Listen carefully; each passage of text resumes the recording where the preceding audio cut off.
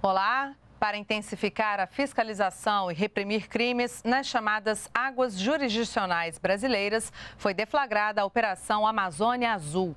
Outro objetivo é preparar a Força Naval para a Copa do Mundo de 2014. É a maior concentração de tropas numa ação do tipo em águas brasileiras, tanto em mar aberto quanto nos rios do interior do país. Cerca de 30 mil militares, 60 navios, 15 aeronaves e diversas embarcações das capitanias dos portos foram direcionadas para a Amazônia Azul. Veja como foi a divulgação da operação pela Marinha realizada em Brasília. Onde nós pretendemos fazer uma rápida apresentação sobre a nossa operação Amazônia Azul 2014. Essa operação é Pode passar. Essa operação é, está sendo realizada em todo o território nacional pela Marinha do Brasil, nesse, no período de 17 a 22, nesta semana, e é, coordenada pelo comandante de operações navais, pelo Comando de Operações Navais no Rio de Janeiro, com a, a finalidade, com objetivos principais de intensificar a fiscalização do cumprimento de leis e regulamentos, é, no, no aquaviários e reprimir ilícitos de toda ordem nas AJB, nas águas jurisdicionais brasileiras. Também estamos utilizando essa operação para um primeiro, os primeiros treinamentos para visando a nossa atuação aqui em Brasília para a Copa do Mundo. Bom, nós estamos empregando é, simultaneamente em todo o território nacional, cerca de 30 mil militares, 60 navios e embarcações, 15 aeronaves é, que estão é, fazendo, intensificando as ações que já realizamos normalmente, mas de uma maneira mais intensa, mais é, pontual em diversos, em todo o litoral brasileiro e nos principais rios, lagos e represas eh, no interior do Brasil. Aqui nós temos uma pequena demonstração de, dos meios disponíveis, além dos meios da Marinha do Brasil, que eu já mencionei, nós temos a participação da Força Aérea Brasileira, com esquadrões de patrulha marítima, diversas agências do governo, Receita Federal, Polícia Federal, IBAMA, é, é, agências de meio ambiente em diversos estados e municípios, polícias militares e civis também de diversos estados e municípios, assim como a Petrobras e a, Transpetro. Aqui no Distrito Federal, é, nós estamos, e no, no, na área do Comando 7 Distrito, que eu já vou mostrar para vocês, qual é essa área. Nós estamos trabalhando diretamente com o IBAMA, com as polícias militares, com as prefeituras e com os bombeiros militares da, dos municípios e estados é, com os quais temos contato. É, isso aqui é uma, uma amostra né, de todos esses pontos ao longo da costa e ao longo dos rios, são pontos onde existem é, meios da Marinha do Brasil fazendo essa atividade, desenvolvendo é, essa operação. Então, é, um, é, é apenas para dar uma ideia geral de que realmente a operação está se desenvolvendo ao longo de toda a costa, ao longo do rio Amazonas, ao longo dos rios Tocantins e Araguaia, aqui no nosso caso, e diversas, é, o rio Paraguai também, e diversas outras localidades. Próximo, por favor. Aqui nós podemos ver nessa tela os, as, os nossos meios desdobrados. Depois eu vou mostrar com mais detalhes. Né? Vamos lá. Essa é a nossa região de atuação do Comando do 7 Distrito Naval, é, que pega os estados de Tocantins e, e Goiás, o sul do Maranhão, um pedaço do sul do Maranhão e do Pará, e também uma, pequenas porções do Mato Grosso e do Mato Grosso do Sul. Esses são os dois rios principais da região, o Tocantins e o Araguaia, onde nós temos intensa atividade de embarcações. Próximo. Bom, a nossa missão é fiscalizar aquelas tarefas que eu, que eu mostrei no início na nossa área de operações, nós chamamos de área de operações centro, é, que corresponde a essa área de jurisdição que eu acabei de mostrar aos senhores e senhoras, para garantir o cumprimento das leis e regulamentos em vigor e contribuir para a segurança da Copa do Mundo FIFA 2014. Próximo. Nós estamos participando com a nossa capitania fluvial aqui de Brasília, na a capitania fluvial do Araguaia Tocantins, lá em Palmas, agência fluvial de São Félix do Araguaia, em São Félix do Araguaia, e agência fluvial de Imperatriz, na cidade de Imperatriz. Nós enviamos para esses locais um reforço de pessoal, é, também de fuzileiros navais e médicos e dentistas, para que, junto com as atividades é, de verificação de embarcações, nós também pudéssemos dar apoio às populações ribeirinhas dessas localidades. Aqui em Brasília, então, a Capitania Fluvial de Brasília está atuando é, aqui no Lago Paranoá, com uma, com uma intensidade maior, e ao sul, é, em Caldas Novas, na, na represa de Corumbá, Corumbá 1, né? Corumbá 1. Já a, a capitania lá de Palmas está atuando no lago Lajeado, lá em Palmas, na região de Palmas, e em Caseara, é, no rio Araguaia, uma localidade a cerca de 260 quilômetros de Palmas, já no Rio Araguaia. Então, no Rio Araguaia e no Rio Tocantins. O, a agência de São Félix do Araguaia está atuando lá na região de São Félix do Araguaia, no Rio Araguaia, mas também ao sul, Barra das Garças, é outra localidade é, escolhida para a sua atuação. Essas localidades foram escolhidas por serem as que têm maior movimentação e maior e também onde ocorrem os maiores problemas é, em relação ao cumprimento das leis e regulamentos de salvaguarda da vida humana. Por favor. Imperatriz, ali na região de Imperatriz mesmo, e na, no Lago Estreito, aqui ao sul, perto de Babassulândia. São essas duas áreas é, que nós estamos atuando nesta semana. Próximo. Bom, até o momento, é, nós é, interceptamos, abordamos, né, cerca de, esses dados estão um pouquinho desatualizados, já são cerca de 147 embarcações, é, 11 foram notificadas e três apreendidas. É porque é, essas notificações se devem exatamente a essas embarcações não estarem com é, toda a documentação em dia, com seus coletes salva-vidas, seu material de salvatagem, é, ou, ou, eventualmente o condutor não ser habilitado e, em determinados casos, e principalmente quando o condutor não é habilitado, não tem nenhum condutor habilitado, a embarcação é apreendida. Nós, é, atuando com o IBAMA, lá na região de Imperatriz, apreendemos, aí fizemos apreensão de diversas redes, é, nove ontem, hoje já mais um, um número é, idêntico. É uma época de defeso né, nessas regiões, é uma época que não se pode pescar, principalmente com redes, e já atuando com o IBAMA foi possível detectar isso. Além disso, fizemos aí algum, até agora, é, atendimentos médico-assistenciais aos ribeirinhos nessas regiões, em torno de 53 atendimentos.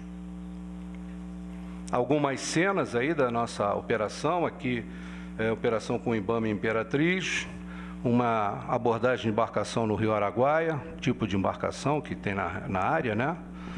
Aqui também no, no, Rio, na, no Lago Paranoá, no Lago Paranoá também, com a utilização do etilômetro. Isso aqui foi um treinamento, um exercício. Aproveitamos para conduzir um exercício com os bombeiros militares lá de Imperatriz, um exercício de, de afogamento no rio, de recuperação de, de, de afogados. E aqui foi essa cena da quando da junto com a Naturantins, que é a Agência de Meio Ambiente do Tocantins, foram apreendidas diversas redes com, tendo, sendo utilizadas indevidamente nessa época do ano por, por pescadores. Bom, essa é uma apresentação sintética né, do que nós estamos fazendo e nós estamos agora à disposição para quaisquer, quaisquer perguntas e também é, gostaríamos de posteriormente mostrar ou fazer uma demonstração de uma, de uma abordagem, de uma embarcação, o que, que é feito, o que, que é pedido, nós podemos é, é, é deixar isso bem explícito. Muito obrigado.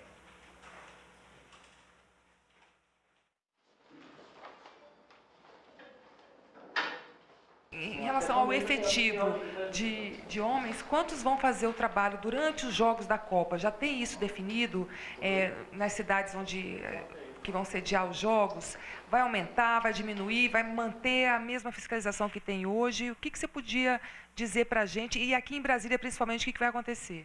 Nós estamos é, também aproveitando é, o deslocamento desses meios, dos navios, das embarcações, é, principalmente no litoral, principalmente nas cidades sede que são litoral, como Rio de Janeiro, Salvador, é, Natal, Recife, por exemplo, para o, aproveitar que essas embarcações já estão no mar e também fazer um treinamento do que nós já vínhamos é, preparando para a Copa do Mundo desde a Copa das Confederações. Então, no ano passado, é, por ocasião da Copa das, das Confederações, já houve é, uma participação das Forças Armadas na questão de defesa, é, de defesa externa, ou seja, não na questão de, de, que envolve a polícia. A polícia é responsável pela segurança das, é, é da, dos jogos, da segurança dos eventos. E a nossa participação é de defesa em torno dessas áreas, ou seja, para que não ocorra, por exemplo, um ataque terrorista vindo do mar ou é, coisa desse gênero. Aqui em Brasília nós temos uma situação muito peculiar, né? É, ninguém imagina que vai ter um ataque terrorista vindo do mar, vindo do mar, vindo do lago, né? Teria que chegar no lago primeiro. Mas nós sabemos que pode haver alguma atividade até de, de, de, pessoas que queiram chegar próximo das delegações e tudo mais. E nós temos os meios aqui para poder dar essa proteção no lago desses, é, principalmente dos hotéis que, que teremos delegações é, é, aqui em Brasília, que receberão as delegações aqui em Brasília.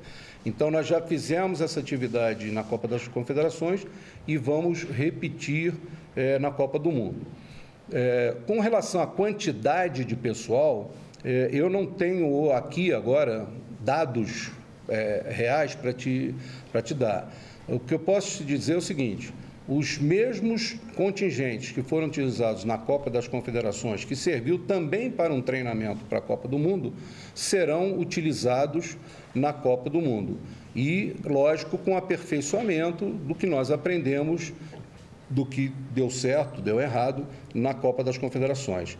É, nós temos, o que eu tenho conhecimento, é que em cada CDA, em cada, em cada área em que uma das Forças Armadas estará responsável por essa defesa externa, né, essa defesa da, da área, é, de pontos sensíveis, por exemplo, de, é, de, de, de, de locais que geram energia, que geram é, imagem, que geram, é, é, ou seja, a infraestrutura né, em torno desses estádios que estarão é, é, sendo utilizados terão uma proteção das Forças Armadas, que é o que está previsto já, o que foi feito ano passado. Não sei te dizer agora a quantidade, mas posso te garantir que é, no mínimo, a mesma quantidade que foi utilizada é, no ano passado e é uma quantidade bastante considerável de meios, tanto de homens como de, de equipamentos. É, Mirante, é, hoje a presidente Dilma Rousseff falou lá em Alagoas que pretende reprimir as manifestações se elas forem violentas Copa, durante a Copa do Mundo. E para isso ela vai usar a Secretaria de Segurança Pública, a Força Nacional e também, se for preciso, as Forças Armadas. Então eu gostaria de saber até que ponto a Marinha está pronta para atender e de que maneira pode atender a presidente no caso de, de ela pedir o auxílio das Forças Armadas no caso da repressão às manifestações mais violentas. Bom, o, acho que vocês, todos vocês sabem que o emprego das Forças Armadas nessa situação é um emprego de GLO, né? é um emprego é, para garantia da lei e da ordem. Esse emprego ele não é, é para ser utilizado, ele precisa é, ter tem todo um ritual, né? E pode ser acionado pelo, pelo presidente ou por alguns dos presidentes dos, dos demais poderes, ou ser solicitado pelo governador da área é, onde estiver ocorrendo o problema. É, a, a, nossa tarefa, inicialmente, em relação à, à Copa do Mundo, principalmente, é de apoio e complemento às forças de segurança de cada Estado. Isso tem que ficar bem claro, né? nós não estamos substituindo essas forças. Se houver necessidade, se houver é, uma falha qualquer ou se houver um, um, uma surpresa qualquer que demande uma quantidade maior de pessoal e isso for determinado né, por alguma dessas autoridades legais, é, as Forças Armadas estarão prontas para atuar. Tanto a Marinha, como o Exército, como a Aeronáutica. Não tenho dúvidas quanto a isso. Eu não saberia dizer agora efetivamente de que forma, mas nós estamos é, treinando, nós temos o, o, conhecimento desse tipo de atividade. Né? Aqui em Brasília, no grupamento de fuzileiros navais, nós temos é, pelotões de, de, controle de distúrbios é, que estão treinados, que estão é, sendo bastante treinados e estaremos prontos para atuar. De que modo, em que local, não sei dizer, mas o que eu posso dizer, é, respondendo sua pergunta diretamente, é que sim, nós estamos preparados para atuar.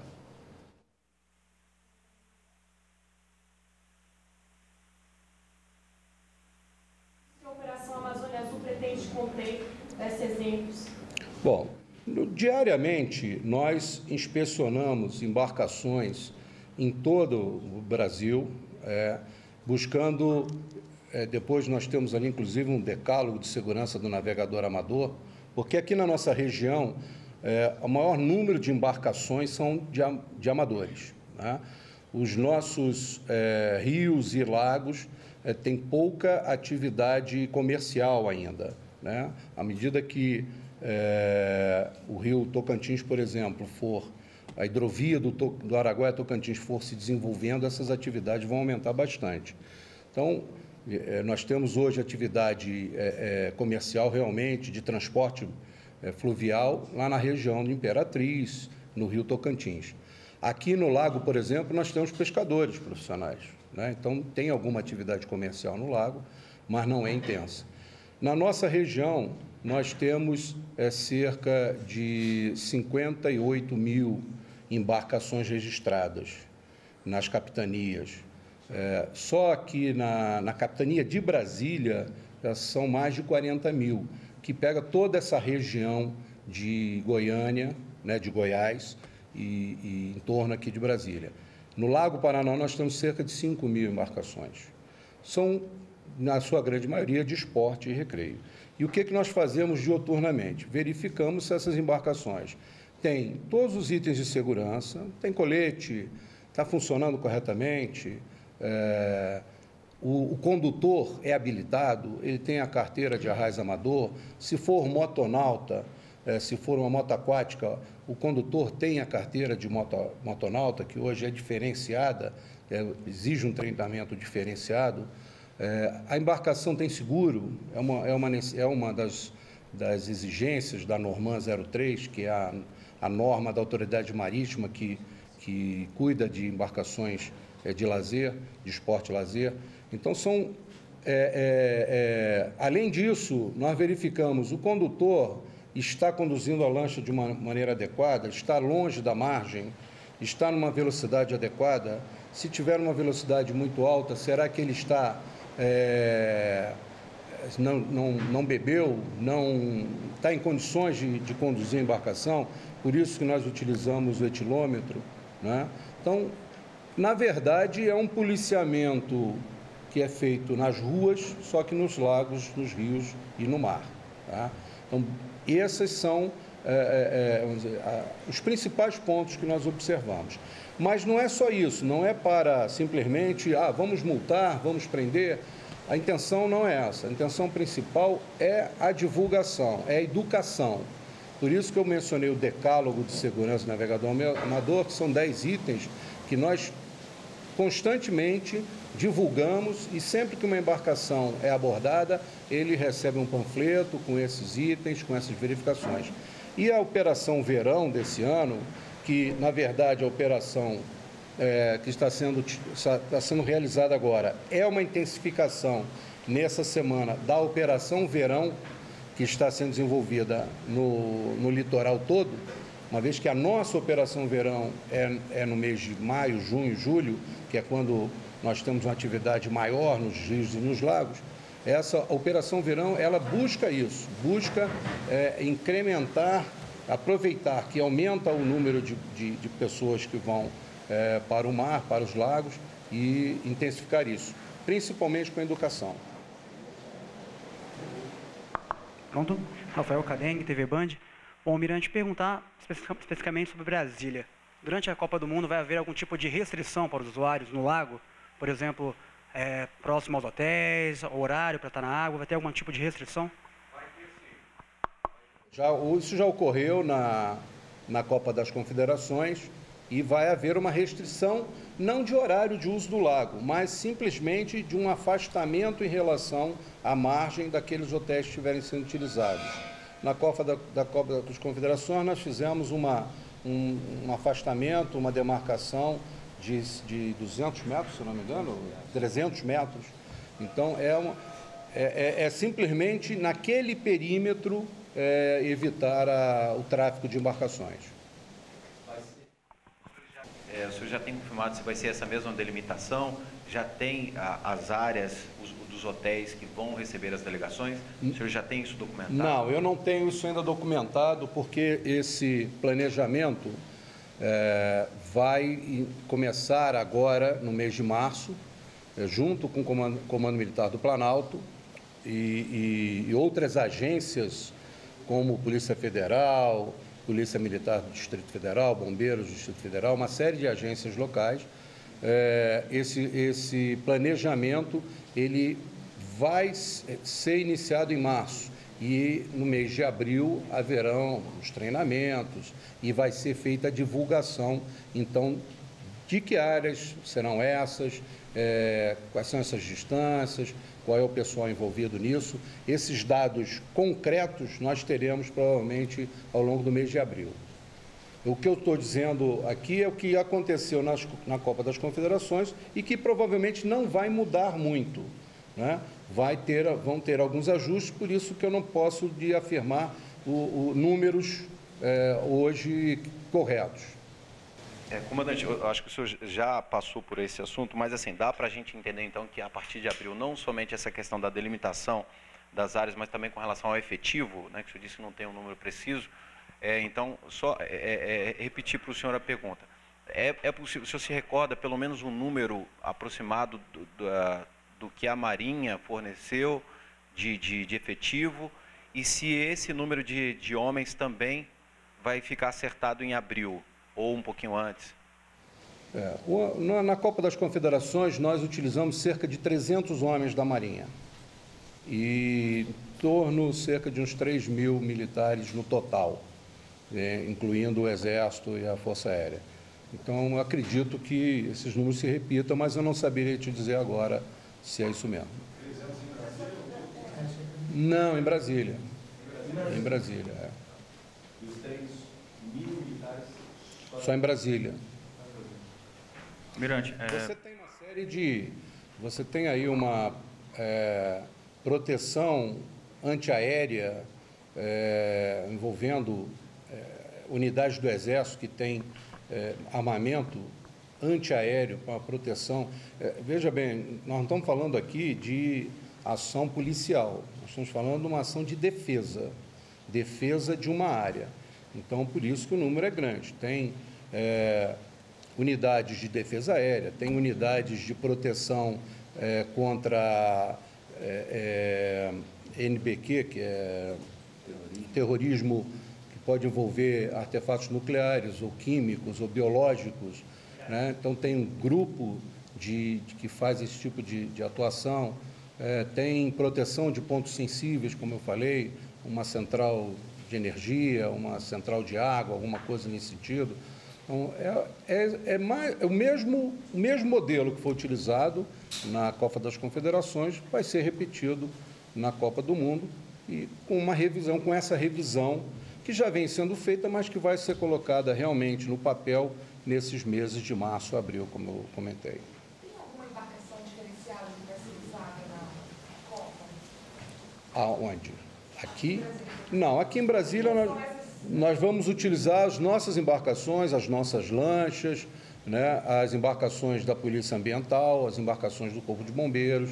É, nós vamos utilizar basicamente as nossas embarcações. Não há necessidade de trazer nenhum, nenhuma embarcação de guerra exatamente para isso. Nós teremos nessas embarcações tropa embarcada, fuzileiros navais, né, armados, que, que é suficiente para fazer essa, a, a, proteção que se imagina. Nós, aí sim, na, como eu falei, na costa do. Na, na, em Copacabana, por exemplo, vocês já devem ter visto diversas vezes nesses grandes eventos é, navios de guerra ali em frente, né? É, fragatas, corvetas, navios de patrulha, é, que fazendo uma proteção ali da, de qualquer é, problema que possa vir do mar. Na costa do Salvador, Pernambuco, nesses locais, é, teremos sim navios, navios de guerra fazendo uma barreira é, a qualquer tipo de ameaça que possa vir do mar. Mirante, é, Marcelo da Agência Brasil. Eu não sei se esse assunto foi abordado, eu cheguei agora há pouco, é, mas eu vou perguntar assim mesmo. É, o que, que, motivou essa operação nesse momento? Foi alguma questão de urgência, de é, aumentar a fiscalização das embarcações? É, ou é uma operação mais de rotina para preparar para a Copa do Mundo? Não, essa, essa operação é, foi lógico que você em alguns locais tem informações de inteligência que determinam que seja é, aumentado o, o, quantitativo de meios ou intensificado as ações, mas é, essa operação é, foi motivada para que a Operação Verão deste ano, que já que agora estaria numa fase já de término, né, o verão está terminando, mas que fosse feita uma, mais uma ação intensa para que fique até como é, alerta, né? Olha, eventualmente, é, porque isso é normal. Quando você não vai num determinado local durante muito tempo, as coisas começam a acontecer. Né? Então, isto serve de alerta para ver que a Marinha está aí atenta e que poderá fazer outras, outras operações desse tipo ao longo do ano, dependendo da necessidade. O efetivo que vai ser usado agora são 60 mil homens. Ah, isso. Esse número vai ser repetido na Copa? Vai ser aumentado ou vai ser reduzido? É, esse esforço que está sendo feito agora não envolve só os locais da Copa, né? São todos, como eu mostrei naquele, num dos mapas aqui, talvez você não estivesse aqui no início, é, nós estamos com é, navios, embarcações, lanchas, homens, é, espalhados pelo Brasil todo, em toda a costa, todas, nós temos 59 é, ag, capitanias, agências e delegacias dos portos, espalhados pelo Brasil todo. Todas estão mobilizadas para essa operação. Além disso, todos os, os, os, meios distritais, os navios de guerra dos distritos navais, né, aqueles que os têm, aeronaves, etc., estão mobilizados. Então, essa mobilização é muito maior do que o que será necessário para a Copa, onde nós teremos apenas algumas cidades sendo utilizadas. Quantos homens vão ser utilizados na Copa do Mundo? É, essa pergunta que já foi feita, eu ainda não tenho esse ah, tudo tá? Mas nós teremos em breve, será divulgado, amplamente divulgado. Inclusive, é, vocês serão convidados aí para acompanhar nossos treinamentos aqui para isso. Acho que a última pergunta que esqueci de falar é, é explica para a gente como é que é essa parceria com o IBAMA e esse atendimento médico odontológico, ele não está presente em todos os pontos né, de, da operação Amazônia Azul, ou está? Ele está presente é, na maioria dos rios e lagos onde nós estamos atuando. Né? No, não está presente no mar. Na, mas no, isso já é uma tarefa, já é uma atividade que a Marinha desenvolve é, já há muito tempo, principalmente na calha do Rio Amazonas e na calha do Rio Paraguai, onde nós temos embarcações é, para fazer esse. São navios hospitais, né? As, é, conhecidos como ASHOP, são ações de assistência hospitalar e social, para atender a população ribeirinha é, desses, desses rios. Então, é, Lá no, na Amazônia, por exemplo, na, na, por exemplo, nós, estamos, nós temos é, quatro navios hospitais, mas não só os navios hospitais estão fazendo essa atividade, os navios patrulha também, levam médicos a bordo, dentistas, e não é atividade só de atendimento médico, tem palestras, ensinam as crianças a escovar o dente, coisas básicas de saúde que são importantes. Aqui na nossa região, nós também fazemos essas atividades é, com menor intensidade, porque temos uma quantidade de meios menor. Mas estamos realizando lá no Rio Tocantins é, a atividade de assistência hospitalar e social.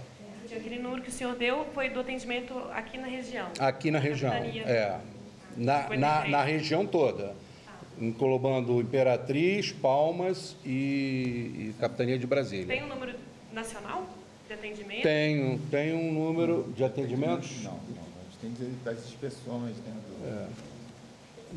Hoje de manhã nós fizemos uma, uma videoconferência, né, todos os participantes, e são cerca de 800 atendimentos até agora, se eu não me engano. Mas a gente confirma isso no, esse dado para vocês. É isso? 800. Cerca de 800 atendimentos até agora. Felipe Malta, do SBT. Para a Marinha, qual é o maior risco que, que Brasília e o Brasil está sujeito com a Copa do Mundo? Aqui vocês dão mais atenção.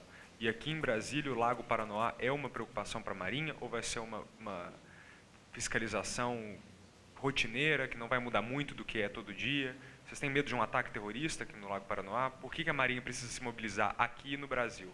Que mais dá medo? Qual que é o risco que a gente corre? Bom, primeiro dizer que medo nós não temos nenhum.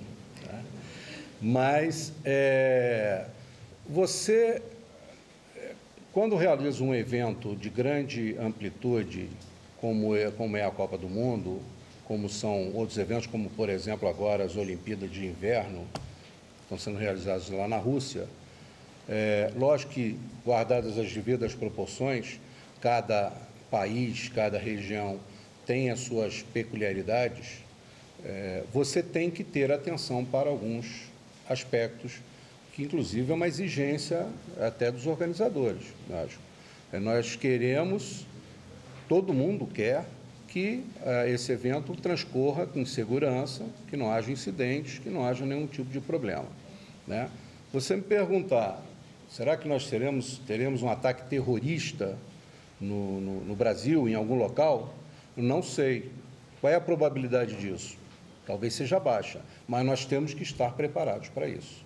Então, nós temos que nos preparar para tudo que for possível. Né? Nós não podemos imaginar que determinadas coisas não, não ocorram, porque é no Brasil. Não, aqui no Brasil nós não temos tradição, não tivemos até hoje, graças a Deus, nenhum ataque terrorista. Né? Até porque nós não sabemos, é, temos que definir o que é terrorismo né, no país. Então, parece que agora vamos ter essa definição, mas é, nós sabemos que se um agente qualquer, uma pessoa que esteja querendo tumultuar os jogos, é, soltar um, um, um, gás qualquer no metrô, numa cidade ou próximo do estádio, alguma coisa, isso é um ataque terrorista. Isso pode acontecer. Né? É lógico que ninguém espera que um sujeito chegue no Lago Paranoá com artefatos desse tipo, sem passar antes por outros é, pontos de verificação. As estradas em torno do Distrito Federal estarão sendo monitoradas. Né? Os acessos ao Distrito Federal estarão, a cidade de Brasília estarão sendo monitorados. Então, não acredito pessoalmente que vai ocorrer alguma coisa grave no lago. Mas eu tenho que estar preparado para isso. Então, é por isso que nós treinamos e nos preparamos. É, é, faz parte da tarefa dos militares se prepararem para o impensável que é a guerra. Nós não queremos a guerra, estamos trabalhando para que ela não ocorra. Né? O responsável pela é, é, parte de inteligência desse grande complexo de segurança que vai ocorrer na Copa é da ABIN. A ABIN que é responsável por fazer essas previsões. Né? Isso já ocorreu ano passado. Nós trabalhamos interagências, né? no Centro de Comando e Controle do eh, CDA aqui de Brasília, nós tínhamos eh, agentes da ABIN, da Polícia Federal, da Polícia Militar, de, do IBAMA, de todos os setores envolvidos né, com a segurança. Então, eles são os responsáveis por produzir essa, eh, essas informações de inteligência. É lógico que as forças podem e devem colaborar com isso e é o que nós fazemos regularmente. Comandante, qual que é o, o grau de interlocução da FIFA? Né? É, ela fez algum pedido que passou via uh, algum órgão do, do, governo federal? Como é que é essa, essa comunicação? Como que ocorreu na Copa das Confederações? E como que isso pode se dar né, até uh, com a Marinha, esse planejamento aí nos próximos meses? Olha, eu não sei, eu não saberia te responder isso não. A FIFA ela se relaciona com o comitê que organiza a, a Copa, né? Ela não se relaciona com as Forças Armadas, nem com nenhum desses órgãos de segurança. Ela se relaciona com o comitê e o comitê é que repassa essas necessidades. Então, nós não temos nenhum contato direto com a FIFA. Você acompanhou a reapresentação da entrevista concedida pela Marinha sobre a Operação Amazônia Azul. A operação também tem como objetivo intensificar a fiscalização e reprimir crimes nas chamadas águas jurisdicionais brasileiras, além de preparar a Força Naval para a Copa do Mundo de 2014. Continue com a gente na NBR, a TV do Governo Federal.